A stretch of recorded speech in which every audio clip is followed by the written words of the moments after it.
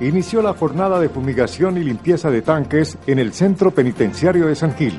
Los ciudadanos que se vean afectados por los nuevos puntajes del CISBEN pueden presentar sus reclamos en las oficinas del Centro de Convivencia. Por asfixia murió agricultor en Villanueva cuando comía un pedazo de cabro. Acerrío de la carrera primera causan contaminación auditiva al sector residencial.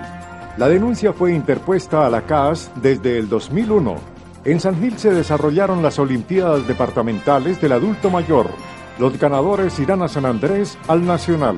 El empedrado de la carrera séptima entre calle sexta a la octava continúa deteriorándose. Ese es el tema del aguijón de hoy.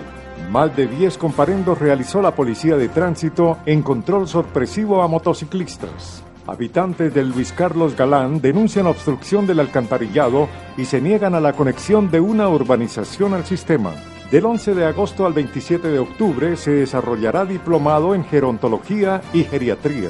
Adultos mayores de Bucaramanga recibieron mercados por parte de la alcaldía de la Ciudad Bonita. Juez dictará medida de aseguramiento contra una banda de narcotraficantes. En los deportes, el fútbol de salón profesional volvió a San Gil con motivo del partido oficial que jugaron Real Bumanguesas y Dimitri Menina de Bogotá. El espaldarazo a la Liga Santandereana en la Administración Municipal por revivir el fervor de esa disciplina deportiva se hizo sentir en los 700 espectadores que acudieron al Coliseo Lorenzo Alcantús. Informativo Telesanquil con Javier Sanabria Vázquez. Dirige Freddy Ortiz.